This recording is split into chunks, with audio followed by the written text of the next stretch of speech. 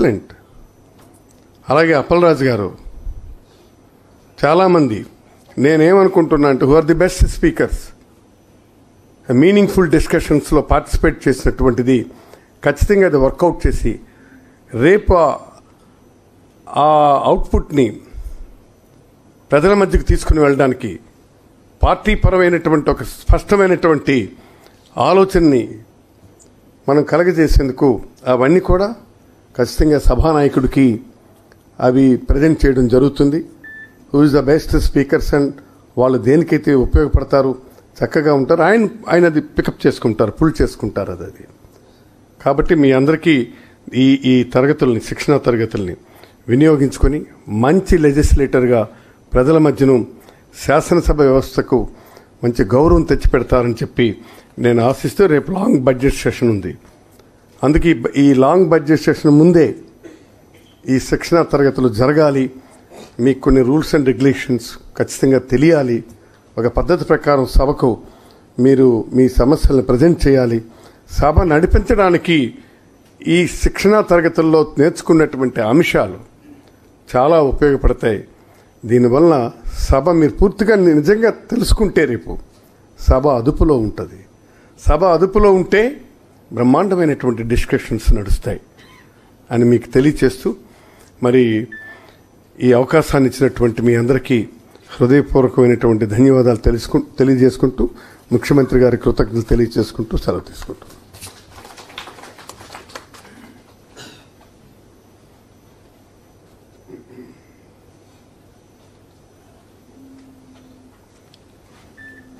ముఖ్య అతిథి గౌరవనీయ ముఖ్యమంత్రి శ్రీ వైఎస్ జగన్మోహన్ రెడ్డి గారు ప్రసంగిస్తారు.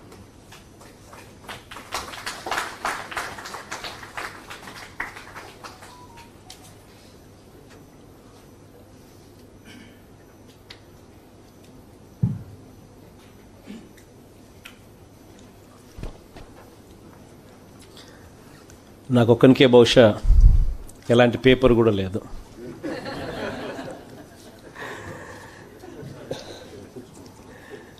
వేదికపై ఉన్న గౌరవనీయులు పెద్దలు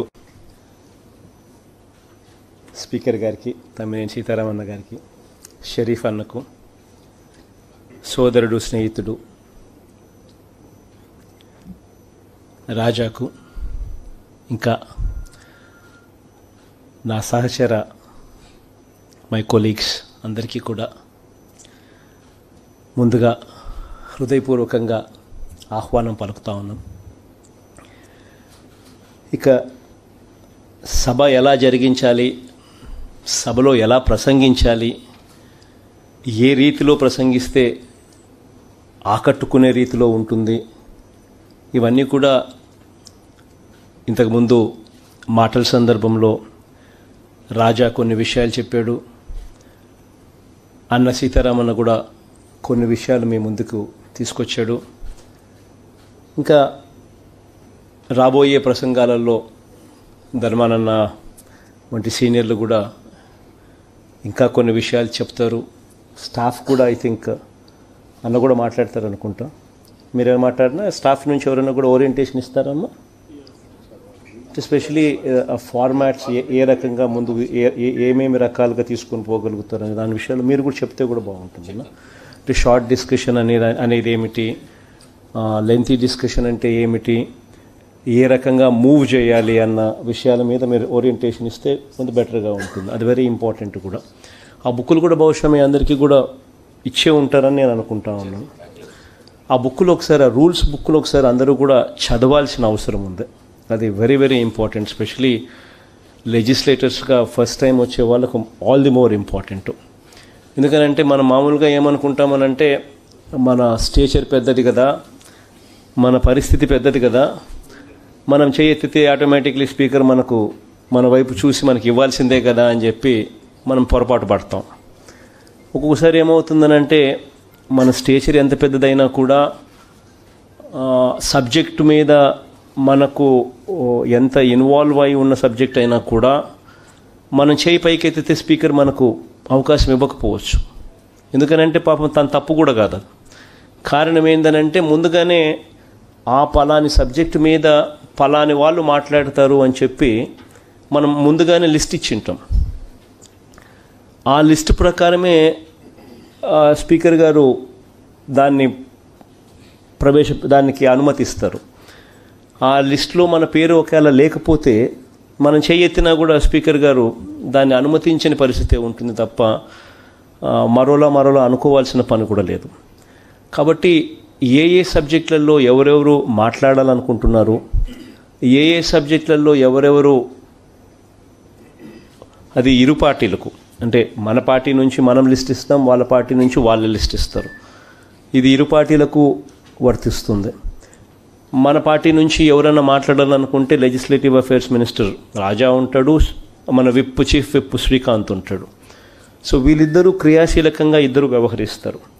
వ్యవహరించేటప్పుడు మనం కూడా ఏందనంటే ఒక సబ్జెక్ట్ మీద మనం ఏదైనా మాట్లాడేటప్పుడు it is very important that we are coming prepared for that subject ఎంతటి గొప్ప స్పీకర్ అన్నా ఉండని బయట సభల్లో మాట్లాడేటప్పుడు ఎంత రసోత్తరంగా మాట్లాడగలిగిన గొప్ప స్పీకర్ అయినా కూడా అసెంబ్లీకి వచ్చేసరికి ఫెయిల్ కూడా కావచ్చు. కారణమేందనంటే అసెంబ్లీలో మనం మాట్లాడేసరికి ప్రతి స్పీచ్ కూడా ప్రిపేర్డ్నెస్ మీద ఆధారపడి ఉంటుంది. మనం గన ప్రిపేర్డ్గా లేకుండా వచ్చి మాట్లాడితే మాత్రం మార్క్ మై వర్డ్ ఎంతటి గొప్ప స్పీకర్ అయినా కూడా ఫెయిల్ అవుతాడు ఎందుకనంటే ప్రిపేర్డ్గా లేకుండా అప్పటికప్పుడు చేతులు పైకెత్తి అప్పటికప్పుడుగా మనం మాట్లాడే కార్యక్రమం చేస్తే ఎఫెక్టివ్గా మాట్లాడలేం. ప్రిపేర్డ్గా మాట్లాడలేం. మనం ఏదో చెప్తాము అవతల దానికి ప్రతి అవ- అవతల అటువైపు ఉన్న వాళ్ళు వెంటనే ఒక డాక్యుమెంట్ తీసి ఇదిగో ఇదిగో చూడు తెలియకపోతే తెలుసుకో అని అన్నారనుకో మనకి ఇబ్బందికరమైన పరిస్థితులకి మనం అంతా ఉంటామన్నది ఎవ్వరూ కూడా మర్చిపోవద్దని నేను చెప్తా ఉన్నా. అందుకనే ప్రతి సబ్జెక్ట్ మీద మీ మీ ఇంట్రెస్ట్లు ఏవైతే ఉంటాయో ఆ ఇంట్రెస్ట్ల ప్రకారం మీరు ఫలాని సబ్జెక్ట్ మీద బాగా మాట్లాడాలని మీకు మీకు నేర్చుకొని తెలుసుకొని ప్రజెంటే ప్రజెంటబుల్గా మీరు మాట్లాడాలని అనుకునే సబ్జెక్ట్ ఏదైతే ఉంటుందో శ్రీకాంత్కు రాజాకు కానీ ఎవరికో ఎవరికి కానీ చెప్తే ఆ సబ్జెక్టులలో మిమ్మల్ని ఇన్వాల్వ్ చేస్తారు. ఆ సబ్జెక్టుకు సంబంధించిన పూర్తి సమాచారం పూర్తి మెటీరియల్ను మన పార్టీ తరపు నుంచి మనకు అక్కడ ఒకసారి అసెంబ్లీ స్టార్ట్ అయ్యేసరికి పలాని సబ్జెక్ట్ మీద మనం మాట్లాడుతున్నారు అనేసరికి ఆ మెటీరియల్ మొత్తం మీకు అందుబాటులోకి వస్తుంది. మేము ప్రతిపక్షంలో ఉన్నప్పుడు ఒక ఒక పద్ధతి ఉండేది. అంటే బహుశా మనకి ఇంత ఇంత యంత్రాంగం కూడా అప్పుడు ఉండేది కాదు. మనకున్న పరిధిలో whatever information we could collect ఆ ఇన్ఫర్మేషన్ అంతా కూడా జీవిడి వీళ్ళంతా సోమయాజులు అన్న జీవిడి అన్న ఇటటి వాళ్ళందరూ బయట కూర్చునే వాళ్ళు ఉన్న కూర్చునే వాళ్ళు ప్రతి సబ్జెక్ట్ను వాళ్ళు పూర్తిగా కూడా డివిజన్ చేసేవాళ్ళు డివిజన్ చేసి ఏ ఏ సబ్జెక్టులలో ఎవరెవరికి మాట్లాడుతూ ఉన్నారో ఆ డివిజన్స్ చేసేది వాళ్ళు నీట్గా వీళ్ళు ప్రిపేర్ చేసి ఇచ్చేవాళ్ళు.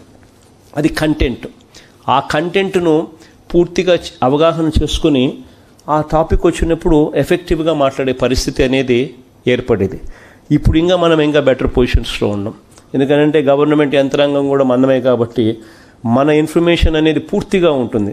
ఎందుకంటే గవర్నమెంట్ మనతో ఇన్వాల్వ్ అయ్యి మనమే మనమే గవర్నమెంట్ కాబట్టి సబ్జెక్ట్ మీద పూర్తి అవగాహనతో పూర్తి పత్రాలతో మనకు ఇచ్చే పరిస్థితి ఉంటుంది. కాబట్టి టోటల్గా మెటీరియల్ మొత్తం మీకు హ్యాండ్ ఓవర్ చేస్తారు. శ్రీకాంత్ దగ్గరుండి ఆ పనులు కూడా చేస్తాడు.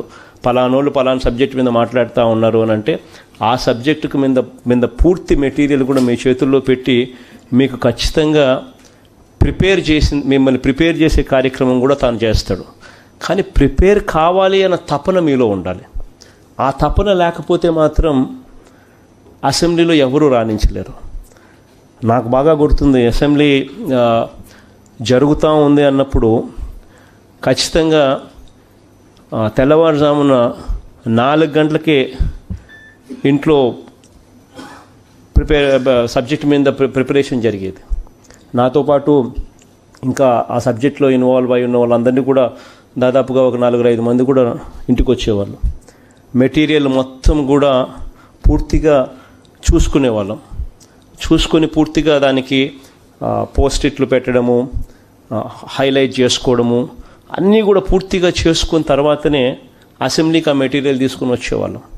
వచ్చిన తర్వాత మనం ఆ తర్వాత లేచి మాట్లాడినప్పుడు ఎంత బాగా అనిపి ఎంత బాగా మనకు కూడా అనిపించేది అని అంటే ఎందుకంటే మనం మాట్లాడిన మాటలు అంత లాజికల్గా మనం మాట్లాడగలిగితే లాజికల్గా మనం మాట్లాడుతూ ఉన్నాం అన్నది ప్రజల్లోకి సింక్ అవుతుంది అన్న భావన మనకు వచ్చినప్పుడు మనకు కూడా దాని మీద ఎంతో ఎంతో సాటిస్ఫాక్షన్ సాటిస్ఫాక్టరీగా ఉంటుంది. కాబట్టి దయచేసి అది మాత్రం గుర్తుపెట్టుకోవాలి. ఎందుకనంటే it is very very important that coming ప్రిపేర్డ్గా రావడం అనేది చాలా చాలా అవసరము చాలా చాలా ఇంపార్టెంట్ ప్లస్ మీరు మాట్లాడాలనుకున్న టాపిక్స్ మీద శ్రీకాంత్తో కానీ రాజాతో కానీ కోఆర్డినేట్ కోఆర్డినేట్ చేసుకుంటే ఆయా టాపిక్లకి మిమ్మల్ని వాళ్ళు యాడ్ చేస్తారు. చేయడమే కాకుండా మీకు మెటీరియల్ కూడా ఇస్తారు. ఇచ్చిన తర్వాత మీరు న్యాచురలీ ప్రిపేర్డ్గా ఉంటారు కాబట్టి మీరు బ్రహ్మాండంగా మాట్లాడే పరిస్థితి కూడా ఉంటుంది.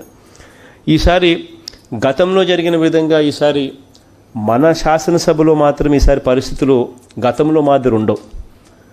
గతంలో అయితే మాట్లాడిచ్చేవాళ్ళు కాదు. ఏదైనా క్రిటిసిజం వచ్చింది ఏంటంటే చాలు వెంటనే మైకులు కట్ మాట్లాడే పరిస్థితి ఉండదు. వెంటనే పర్సనల్గా అందుకుంటారు. టాపిక్ సంబంధం లేని మాటలన్నీ తీసుకొచ్చేస్తారు. ఇంకా ఆ నుంచి మొదలు పెడతారు మీ నాయన ఇట్లా కా నుంచి మొదలు పెడతారు మీ నాయన ఇట్లా మే ఇంకోటి ఇట్లా ఇంకోటి ఇంకోటి ఇట్లా ఇట్లా. ఇవన్నీ దండిగా చూసాం చాలా చూసాం. బట్ మన మన గవర్నెన్స్ అట్లా ఉండదు మన గవర్నెన్స్లో ఇదే తెలుగుదేశం పార్టీకి ఇరవై మూడు మంది ఎమ్మెల్యేలు. ప్రతిపక్షం హోదా రావాలి అని అంటే టెన్ పర్సెంట్. అంటే పద్దెనిమిది మంది ఉండాలి. ఒక ఐదు మందిని లాగేస్తే ప్రతిపక్షం కూడా ఉండదు కదా అన్నారు. ప్రతిపక్ష హోదా కూడా ఉండదు కదా అన్నారు. చాలామంది మన వాళ్ళే నాకు సలహా కూడా ఇచ్చారు. But I said no I said no మనకు వాళ్ళకు తేడా ఉండాలి కదా అని చెప్పి గట్టిగా ఐ సెడ్ నో రామచంద్ర నవ్వుతున్నాడు అక్కడ. మనకు వాళ్ళకు తేడా ఉండాలి కదా అని చెప్పా. కారణం ఏంటంటే ప్రతిపక్షం అనేది ఉండాల. మనం ఏదైనా ఎమ్మెల్యేని ఎవరన్నా తీసుకోవాలనుకున్నా రాజీనామా చేయించాలి. తర్వాత లే రాజీనామా జరగ రాజీనామా చేయించిన తర్వాత ప్రజల్లోకి తీసుకొని పోయి మన పార్టీ టికెట్ మీద మనం గెలిపించుకున్న తర్వాత ఆ మనిషి మన ఎమ్మెల్యే అవుతాడు. అలా రాజీనామా అన్నా జరగాలి డిస్క్వాలిఫికేషన్ అన్నా జరగాలి. ఇక్కడ డిస్క్వాలిఫికేషన్లు లాస్ట్ ఫైవ్ ఇయర్స్లో ఎక్కడా జరగలేదు. ఎక్కడ రాజీనామాలు చేసే పరిస్థితి అంతకన్నా ఎక్కడ ఉత్పన్నం కాలేదు. ఆ పరిస్థితి నుంచి భిన్నంగా ఉండాలి అని చెప్పి మనం ప్రతి సందర్భంలోనూ మార్గదర్శకంగా అడుగులు వేస్తూ ఉన్నాం. ఈ మార్గదర్శకంగా దర్శకంగా అడుగులు వేసే విషయంలో వచ్చేసరికి ఈ అసెంబ్లీ కండక్ట్ చేసే విషయంలో కూడా అంతే మార్గదర్శకంగా ఉండాలి.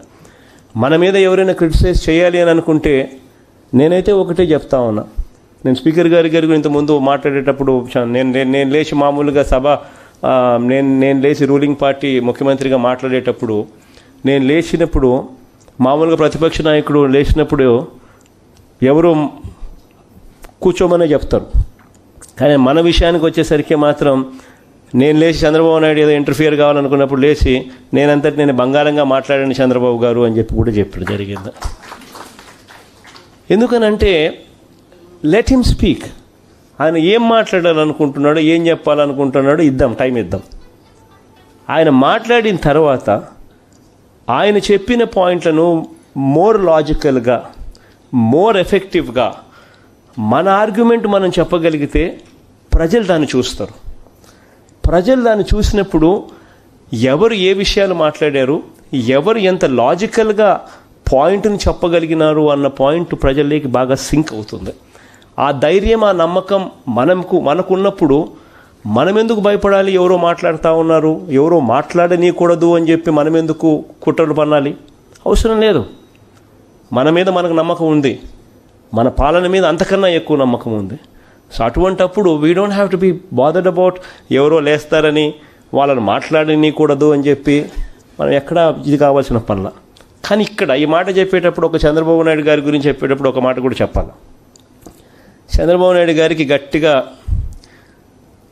అబద్ధాలు చెప్పే అలవాటు కూడా ఉంది. ఇదే శాసనసభలో అయితే నేను సత్యదూరం అని చెప్పి అనాలి కానీ ఇదే ఇంతకుముందు గతంలో మీ అందరికీ గుర్ గుర్తుండు గుర్తుండే ఉంటుంది. ఆయన ప్రతిపక్షంలో ఉన్నప్పుడు నాన్నగారి హయాంలో నాన్న ముఖ్యమంత్రిగా ఉన్నప్పుడు నాకు బాగా గుర్తుంది. ఏ ప్రాజెక్ట్ కన్నా ఇచ్చంపల్లినా ఏ? ఇచ్చంపల్లినా ఎల్లంపల్లినా? ఇచ్చంపల్లినో ఎల్లంపల్లినో ప్రాజెక్ట్లో ఏకంగా ఒక ఒక ఫిక్టీషియస్ డాక్యుమెంట్లు తీసుకొచ్చేసినాడు. ఒక ఒక డాక్యుమెంటే టెండరింగ్ ప్రొసీజర్ మీద ఒక డాక్యుమెంట్ ఫిక్టీషియస్ డాక్యుమెంట్ తీసుకొచ్చేసినాడు. తీసుకొచ్చి అసెంబ్లీలో చదవడం మొదలుపెట్టినాడు. ఇది టెండర్ ఇట్ట జరిగినది ఇట్ట జరిగింది ఇట్లా జరిగింది. ఫస్ట్ సేపు అయితే ఎవరికి ఏం అర్థం కాదు ఇంక్లూడింగ్ నాన్న నాన్నకు కూడా నాన్న అర్థం అర్థం కూడా అయినట్లేదు తర్వాత అసలు ఏంది ఏం జరిగింది ఏం జరిగింది అని చెప్పి మొత్తం డేటా మొత్తం తీసుకుని వచ్చిన తర్వాత అప్పుడు అర్థమైంది అసలు డాక్యుమెంటే ఫేక్ డాక్యుమెంట్ తీసుకొచ్చి మాట్లాడేస్తున్నాడు అని చెప్పి దాని తర్వాత ఏం జరిగింది అని అంటే నెక్స్ట్ డే నెక్స్ట్ డే మళ్ళా నాన్న మన చీఫ్ మినిస్టర్గా ఒరిజినల్ డాక్యుమెంట్ చూపించి ఇది ఒరిజినల్ డాక్యుమెంట్ చంద్రబాబు ఏందయ్యా మీరు చేస్తూ ఉన్నారు? ఏంది నువ్వు మాట్లాడింది ఏంది? ఎందుకు ఈ రకంగా మిస్లీడ్ చేసినావని అంటే that man had the audacity to say audacity to say that ఇలా అబద్ధాలు ఆడడం సర్వసహజమే అని. He had the audacity to say that on record ఇలా అబద్ధాలు ఆడడం సహజమే? ఇలా మేము అబద్ధాలు ఆడితేనే మీరు నిజం చెప్తారని. I got that was something shocking అది కూడా అసెంబ్లీలో ఆన్ రికార్డ్ రికార్డ్స్లో నేను ఇక్కడ దయచేసి మీ అందరితో కూడా నేను చెప్పేది ఒకటి ఏంటనంటే అటువంటి అటువంటి చర్యలు మనం ఎప్పుడు చేయకూడదు. అటువంటి అబద్ధాలు అటువంటి మోసాలు చేసే కార్యక్రమం మనం ఎప్పుడు చేయకూడదు. This is my advice to you ఎందుకనంటే తప్పనేది చేయకూడదు. తప్పనేది మనం చేయనప్పుడే మనం ఎవరికైనా కూడా చెప్పగలుగుతాం. మనమే తప్పు చేసినప్పుడు ఇంకొకరు ఎవరికి కూడా మనం చెప్పే అవకాశం ఉండదు చెప్పే పరిస్థితి ఉండదు. This is one thing what I request ప్రతి ఒక్కరికి కూడా చెప్పేది ఒకటే. తప్పు చేయొద్దండి. అవాస్తవాలు చెప్పకండి. ఫ్యాక్ట్సే మాట్లాడండి. ప్రిపేర్డ్గా రండి. రావాల్సిన పద్ధతిలో రండి. మాట్లాడాలనుకున్న వాళ్ళు శ్రీకాంత్ దగ్గరికి వెళ్ళి రాజా దగ్గరికి వెళ్ళి పేర్లు నమోదు చేసుకొని ఒక ఆ- దాంట్లో ఆ డిబేట్లో పార్టిసిపేట్ చేసే ఒక పద్ధతిలోకి తీసుకొని రండి.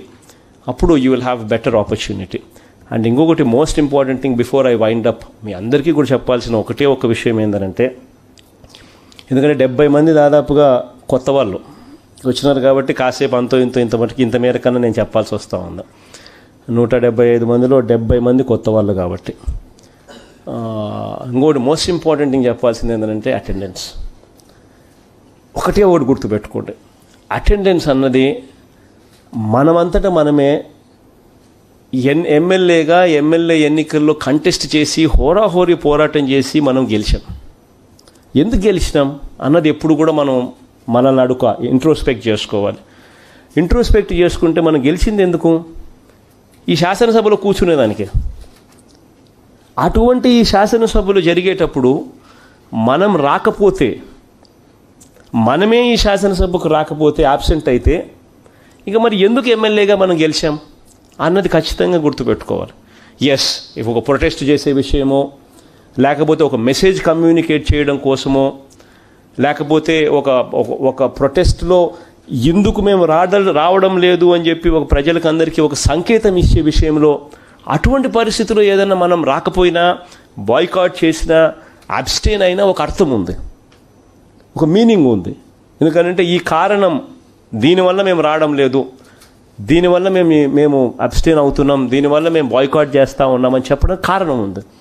కానీ అలా కాకుండా అన్నీ బాగానే జరుగుతూ ఉన్నప్పుడు అన్నీ బాగానే ఉన్నప్పుడు మనకి ఇంట్లో మనకు వేరే పనులు ఉన్నాయనో లేకపోతే మనకు ఇంకా వేరే అప్లికేషన్స్ ఏదైనా ఉన్నాయనో లేకపోతే ఇటువంటి ఏదన్నా ఫ్యామిలీ నీడ్స్ అని ఇంకోటనో ఇటువంటి ఏదన్నా ఉంటే అటువంటి కారణాల వల్ల మనం చట్టసభలోకి రాకుండా పోవడం అన్నది కరెక్ట్ కాదనేది ఖచ్చితంగా మీరు అందరూ కూడా గుర్తుపెట్టుకోమని చెప్పి నేను ఒకటే కోరుతా ఉన్నా. కాబట్టి ఖచ్చితంగా అటెండ్ కావాలా?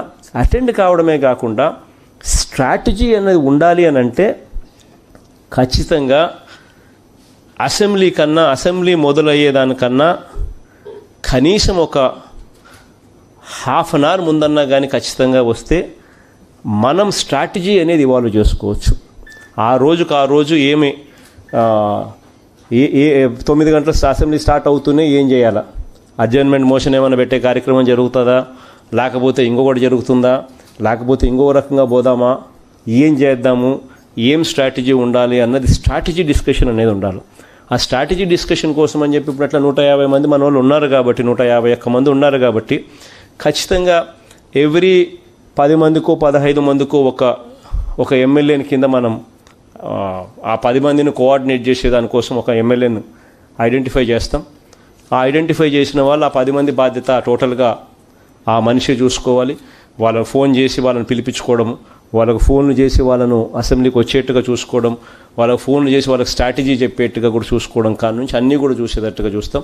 కాబట్టి ఖచ్చితంగా అందుబాటులో ఉండే కార్యక్రమం మాత్రం ఖచ్చితంగా చేయను ఇది అయిపోయినాక ఇంకొకటి ఏంటంటే అసెంబ్లీ అయిపోయిన తర్వాత ఎక్కడో ఏదో ఒక టైంలో it is very important next డేకు ఏ రకంగా ప్రిపేర్ కావాలా?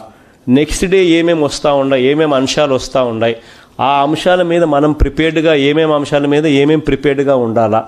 ఆ ప్రిపేర్డ్గా మనం ఉండడం కోసం మెటీరియల్ అంతా మన దగ్గర ఉందా లేదా? ఆ మెటీరియల్ మనం దగ్గర నుంచి మనం కలెక్ట్ చేసుకోవాలి.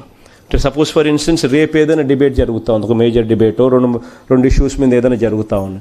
లేదా మూడు ఇష్యూస్ మీద క్వశ్చన్ ఆర్ క్వశ్చన్ ఆర్ చూస్తాం. లేకపోతే క్వశ్చన్స్ చూస్తాం. లేకపోతే ఆన్సర్లు చేయాల్సిన పరిస్థితి వస్తూ ఉంటుంది. ఏదైనా కానీ మనం ఏదంటే డిబేట్ ఉంటుంది. ఆ డిబేట్కి సంబంధించి నెక్స్ట్ డేకి సంబంధించిన డిబేట్ అంశాలకు సంబంధించి మనకు సాయంత్రానికల్లా మనకు ముందే వచ్చేస్తాయి రిపో నెక్స్ట్ ఏం జరగబోతా ఉందని దానికి సంబంధించి ఆ రోజు సాయంత్రం ఖచ్చితంగా మనం కూర్చోవాలా?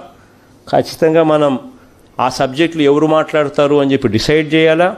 ఆ మాట్లాడే వాళ్ళకు మెటీరియల్ ఇవ్వాలా? ఆ మాట్లాడే వాళ్ళ మెటీరియల్ తీసుకోవాలా? మెటీరియల్ తీసుకోవాలి. ఏం మా ఎవరు మాట్లాడబోతా ఉన్నారో క్లారిటీ ఉండాలి. వాళ్ళు ప్రిపేర్ కావాలి. సో అది కూడా సాయంత్రం పూట మళ్ళీ ఖచ్చితంగా కూర్చొని కంక్లూడ్ చేసుకోవాల్సిన అవసరం కూడా ఉంటుంది. ఇవన్నీ కూడా మొత్తానికి శ్రీకాంత్ రాజా వీళ్ళంతా కూడా కోఆర్డినేట్ చేస్తారు. అంటే రిపీటెడ్గా ఎమ్మెల్యేలుగా ఉన్న వాళ్ళందరికీ ఇవన్నీ తెలిసిన విషయాలే కానీ డెబ్బై మంది కొత్త వాళ్ళు ఎన్నిక కొత్త వాళ్ళు ఇక్కడికి వచ్చారు కాబట్టి వాళ్ళందరికీ తెలిసి ఉండాల్సిన అంశాలు కాబట్టి కొంచెం టైం తీసుకొని చెప్పాల్సిన పరిస్థితి వస్తూ ఉంది. అందుకే చెప్పాను. But by and large this is how the functioning of the assembly will be ఈసారి అసెంబ్లీ మాత్రం ఖచ్చితంగా చాలా హుందాగా నడిపిస్తాం. ఎవరు మాట్లాడాలనుకున్నా కూడా బంగారంగా టైం ఇస్తాం. ఏం కావాలంటే అది మాట్లాడుకొని లాజికల్గా ఎఫెక్టివ్గా దాన్ని డిఫెండ్ మనం చేస్తాం. దట్ ఈస్ ఆర్ స్ట్రెంగ్త్ కాబట్టి it's gonna be a good assembly అని చెప్పి నేను నమ్ముతా ఉన్నాను. రూల్స్ను పూర్తిగా చట్టాలు చేసే సభలోనే మనమే చట్టాలను ఖచ్చితంగా కాపాడుతాము. స్పీకర్ గారికి ఏమాత్రం తలనొప్పి లేకుండా కూడా అన్ని రకాలుగా కూడా మంచిగా ఉంటాము. ఎందుకనంటే మనం చంద్రబాబు నాయుడు గారి మాదిరి చట్టాలను మనమే చేస్తాం చట్టాలను కత్తిరించేది మనమే అనే పరిస్థితి ఉండదు. చట్టాలను మనం చేసే సభలో చట్టాలను గౌరవించే పరిస్థితిలో గౌరవించే విధంగా మనం వ్యవహరిస్తాం కాబట్టి స్పీకర్ గారికి ఎటువంటి తలనొప్పులు ఉండవు. కాబట్టి అందరం కలిసికట్టుగా కూడా గొప్పగా నడిపిద్దాం ఈ సభను. మీ అందరి సహాయ సహకారాలతో గొప్పగా చేయగలుగుతామని చెప్పి కూడా సంపూర్ణంగా నేను నమ్ముతా ఉన్నాను. Thank you everybody YSRCP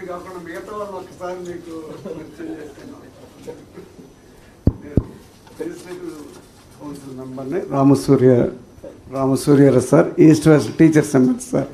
మీ సహకారంతో గెలుసు. మీ అందరికీ నాన్నగారికి మేమందరం రుణపడి ఉంటాం. లెజిస్లేటివ్ కౌన్సిల్ అనేది ఆయన ఏర్పరిచారు. అందువల్ల మేమందరం కూడా మీ నాన్నగారికి కృతజ్ఞతలై ఉంటాం సార్. సార్.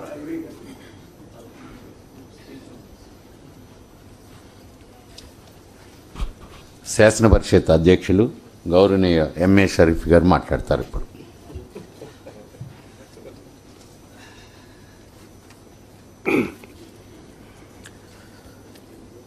యువ ముఖ్యమంత్రి కొత్త వరోడిలో కొత్త ఆలోచనలతో ముందుకు సాగుతున్న గౌరవనీయులు జగన్మోహన్ రెడ్డి గారికి సభాపతి తమ్మినేని సీతారాం గారికి ఆర్థిక శాఖ మంత్రివర్యులు మిత్రులు బుగ్గన రాజేందర్ గారికి గౌరవ మంత్రివర్యులకు గౌరవ శాసనసభ్యులకు గౌరవ శాసన మండలి సభ్యులందరికీ ముందుగా నా నమస్కారాలు. ఈరోజు శాసనసభ పరంగా రేపు బడ్జెట్ సమావేశాల కంటే ముందుగా మన ఓరియంటేషన్ ప్రోగ్రామ్ని ఏర్పాటు చేసుకున్నందుకు ముందుగా మరి ప్రభుత్వాన్ని నేను అభినందనలు తెలియజేస్తున్నాను. ఎందుకంటే ప్రతి వ్యక్తికి ఉండే అవగాహన పరిమితమైంది. కాబట్టి ఎంత ఎక్కువ మనం అవగాహన ఏర్పరచు ఏర్పరచుకుంటే మనం ముందుకు సాగగలుగుతాం. అందుకే అంటారు మనిషి నిత్యం విద్యార్థి అని. కాబట్టి ఎంత ఎక్కువగా మనం అవగాహన కల్పించుకుంటూ పోతుంటే ఏ రంగాల్లో మనం ఉన్నామో ఆ రంగాల్లో రాణిస్తాం అనేది ఈ సందర్భంగా మనందరూ గమనించవలసిన అవసరం ఉంది. ప్రజాప్రతినిధులుగా ప్రజల మనోభావాలకి తగ్గట్టుగా అభివృద్ధి సంక్షేమ కార్యక్రమాలు నిర్వహిస్తూ వాళ్ళ మన్ననలు పొందటం ఎంత ముఖ్యమో ఈరోజు శాసనసభకి ఎన్నికైన తర్వాత శాసనసభలో కూడా రాణించవలసిన అవసరం కూడా ఈనాడు ప్రతి ఒక్క శాసనసభ్యుడి మీద ఉందనే విషయాన్ని కూడా ఈ సందర్భంగా మనవి చేస్తున్నా. మరి ఈనాడు క్వశ్చన్ అవర్ కానీ షార్ట్ డిస్కషన్ కానీ బడ్జెట్స్ డిమాండ్స్ కానీ అదే రకంగా బిల్స్ కానీ ఇలాంటి అనేక అంశాలలో ప్రతి ఒక్కరూ కూడా పాలు పంచుకుని మరి అవకాశాన్ని సద్వినియోగపరచుకోవాల్సిన అవసరం ఉందని ఈ సందర్భంగా మనవి చేస్తున్నా. ఎందుకంటే సంవత్సరంలో మూడు వందల అరవై ఐదు రోజుల్లో యాభై రోజులు సమావేశాలు నిర్వహించుకుంటుంటాం. బడ్జెట్ సమావేశాలు కావచ్చు శీతాకాలపు సమావేశాలు కావచ్చు వర్షపు కాలపు సమావేశాలు కావచ్చు.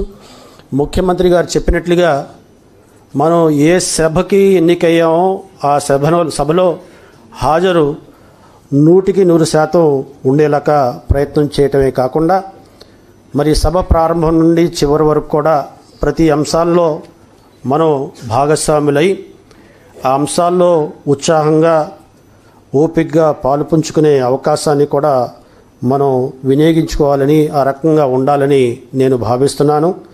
ఎందుకంటే ఈరోజు electronic media social media YouTube లాంటివి విపరీతంగా వచ్చేసినాయి ఇంతకుముందు అయితే పేపర్లో ఈ రోజు జరిగేది మరుసటి రోజు వచ్చేది.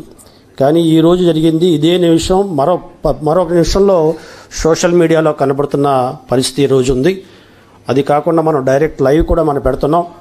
కాబట్టి మేము ఎన్నుకున్న ప్రజాప్రతినిధి వాణిని ఏ రకంగా వినిపిస్తున్నారు మా ప్రాంతంలో ఉన్న సమస్యల్ని ఏ రకంగా అయినా అక్కడ స్పందిస్తున్నారనేది మిమ్మల్ని ఎన్నుకున్న ఓటరు మరి ఖచ్చితంగా గమనిస్తుంటాడనే విషయాన్ని కూడా ఈ సందర్భంగా మనం గమనించి ఆ రకంగా మన ప్రాపకం మన గౌరవం మన యొక్క మరి అసెంబ్లీలో మాట్లాడిన తీరుతెన్నులతో ప్రజల్లో మన గౌరవ మర్యాదలు కూడా పెంచుకునే అవకాశం ఉంటుందనే విషయాన్ని కూడా సందర్భంగా మనవి చేస్తున్నా. కులాలకి మతాలకి అతీతంగా వ్యవహరించవలసిన అవసరం ఎంతైనా ఉంది.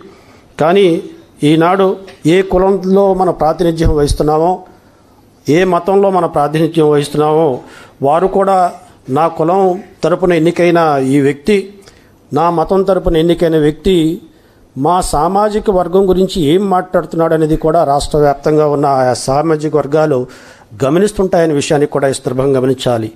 మానవతా దృక్పథంతో అభివృద్ధి దిశలో మనం ఏ కులాలైతే అయితే ప్రాతినిధ్యం వహిస్తున్నామో ఆ కులాల వారి సమస్యలు కూడా సంబంధిత సందర్భాలలో చట్టసభల్లో మాట్లాడితే బాగుంటుందని నా అభిప్రాయం. అంతేకాకుండా ధన ప్రాబల్యం బాగా పెరిగిపోయిన ఈ రాజకీయ వ్యవస్థలో మరి బాబాసాహెబ్ అంబేద్కర్ లాంటి మహనీయుడు ప్రసాదించిన ఎస్సీ ఎస్టీ రిజర్వేషన్ల మూలంగా ఈనాడు ఎమ్మెల్యేలు ఎంపీలు కాగలుగుతున్నారు. ఈనాడు ఈనాడు ఓటర్లుగా ఉన్న మైనార్టీ వర్గాలు లీడర్లుగా రాణించే పరిస్థితి నాడు మరి రోజు రోజుకి తక్కువైపోతుందని భావన నేను వ్యక్తం చేస్తున్నా. ఈరోజు జనాభాలో యాభై శాతం పైబడి బీసీ వర్గాలు ఉన్నారు. అందులో మోస్ట్ బ్యాక్వర్డ్ క్యాస్ట్ వాళ్ళు చాలా ఎక్కువగా ఉన్నారు. అదే రకంగా ఎస్సీలు కానీ ఎస్టీలు కానీ మైనార్టీలు కానీ వీళ్ళందరూ కలిపి డెబ్భై డెబ్భై ఐదు శాతం ఉన్నారు. వీరు ఎక్కువగా ఆర్థికంగా వెనుకబడిపోయిన పరిస్థితిలో ఉన్నారు. రోజువారీ జీవితాలు గడిపే పరిస్థితి కూడా చాలా క్లిష్టంగా ఉన్న పరిస్థితులు. కాబట్టి సంక్షేమ కార్యక్రమాలు నిర్వహించడమే కాకుండా ఈనాడు విద్యా ఉపాధి విషయాల్లో ఎవరైతే శాసనసభకు ఎన్నికయ్యారో వారందరూ కూడా సంఘటితంగా ఈ దిగజారిపోయిన బడుగు బలహీన వర్గాల వారి కోసం మనం మాట్లాడి దానికి తగ్గట్టుగా చట్టాలని రూపకల్పన చేసి ఈ అణగారిన వర్గాలని అభ్యున్నతికి మనం పాటుపడాల్సిన అవసరం ఉందని ఈ సందర్భంగా మనం చేసిన. అంతేకాకుండా ఈనాడు ప్రభుత్వ పథకాలు చాలా బ్రహ్మాండంగా మనం అమలు చేస్తుంటాం. కానీ క్రింద స్థాయిలో ఆచరణ స్థాయిలో ఎంతవరకు అమలు జరుగుతుందనేది చూడవలసిన నిశ్చితంగా చూడవలసిన బాధ్యత ఈనాడు ప్రజాప్రతినిధుల మీద ఉంది.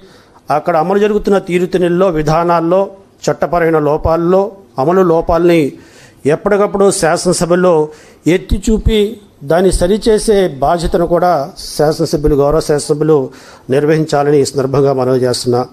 ప్రజాస్వామ్యంలో ప్రజలే న్యాయ న్యాయ కాబట్టి ఈనాడు మార్కెట్లో షేర్ ధరలు ఏ రకంగా అయితే పడుతూ లెగుస్తూ ఉంటాయో ఒకసారి పడిపోతుంటాయో ఒకసారి హెచ్చు స్థాయిలో వస్తుంటాయో అదే రకంగా మనుషుల యొక్క మనోభావాలు కూడా మారుతూ ఉంటాయి. ప్రజాస్వామ్యంలో ప్రజా వ్యవస్థలో ఉన్న ప్రజలు న్యాయ నిందితులు కాబట్టి వాళ్ళ మనోభావాలకు ఎక్కడా తక్కువ కాకుండా వారు మనోభావాలకు తక్కువ తగ్గట్టుగా వారి అంచనాలకు తగ్గట్టుగా మన వ్యవహార శైలి ఉండాలనేది దానికి శాసనసభ చాలా ఉపయోగపడుతుందనే భావన నేను వ్యక్తం చేస్తూ నేను చివరిగా ఒక మాట చెప్పదలుచుకున్నాను. ధర్మాన్ని మనం రక్షిస్తే ధర్మం అని రక్షిస్తుంది. కాబట్టి సత్యమే జైతే అనే మాటని మన దృష్టిలో పెట్టుకొని ఆ రకంగా ఈ శాసనసభని ఒక ధర్మనిష్టతో ప్రజాహితంగా ముందుకు సాగటానికి మీరందరూ పూనుకుని ఒక మంచి శాసనసభ ఈనాడు ఉంది శాసనసభ్యులు ఉన్నారని మరి పరిణిత పరిణితి చెందిన వ్యక్తులు ఉన్నారనే భావన ప్రజల్లో రేకెత్తించే రకంగా మీరు కృషి చేయాలని చేస్తారని భావిస్తూ మీ అందరినీ ఆ దైవం అన్ని రకాలుగా సహకరించాలని పరిపూర్ణమైన జ్ఞానాన్ని పరిపూర్ణమైన మరి ఆరోగ్యాన్ని ప్రసాదించి ప్రజాసేవ చేసే భాగ్యాన్ని కల్పించాలని కోరుకుంటూ నేను సెలవు తీసుకుంటాను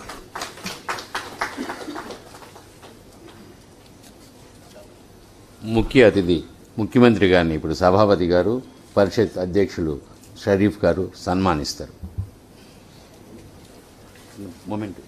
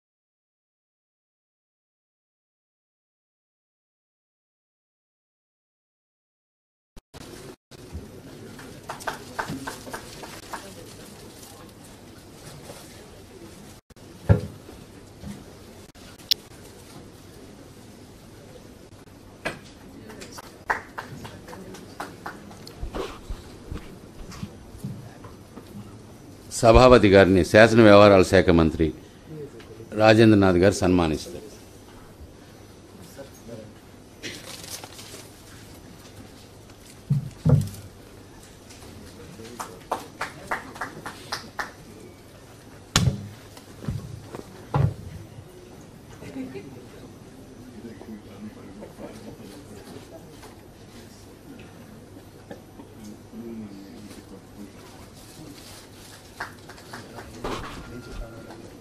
శాసన వ్యవహారాల శాఖ మంత్రి గారిని సన్మానిస్తారు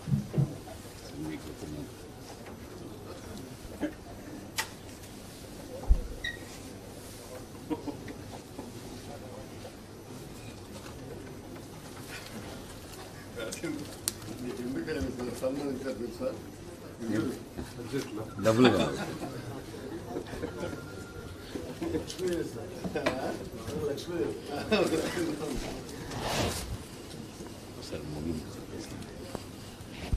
అందరికీ ఇప్పుడు తేనీటి విందు ఉంది. వచ్చి అందరూ అక్కడ ఆస్వాదించు